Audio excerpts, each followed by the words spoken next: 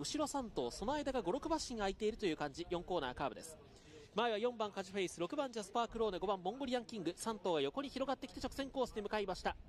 間から6番のジャスパークローネ内から盛り返す。4番のカジュフェイス外5番モンゴリアンキングは少し差が開いたか。3番手遅れを取っています。200を切って。前は4番カジュフェイス先頭。2番手6番ジャスパークローネモンゴリアンキング。4番手からテイオースパローが差を詰めて3番手2番手を伺いそうです。先頭は4番のカジュフェイス。押し切って快勝のゴール。2着争い最後。1番の帝王スパロー届いたか。内6番ジャスパークローで中に5番モンゴリアンキング。外からは3番川北レブリー。そして2番湘南マッハと続いています。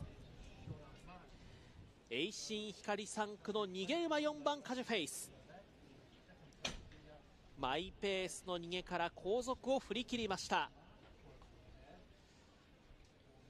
2着争いが3頭広がりまして最後の最後1番の帝王スパロー。前とは距離がある後ろの集団だったんですが直線中は過ぎで追いついて2着争いに食い込みました。うちでは6番ジャスパークローネ。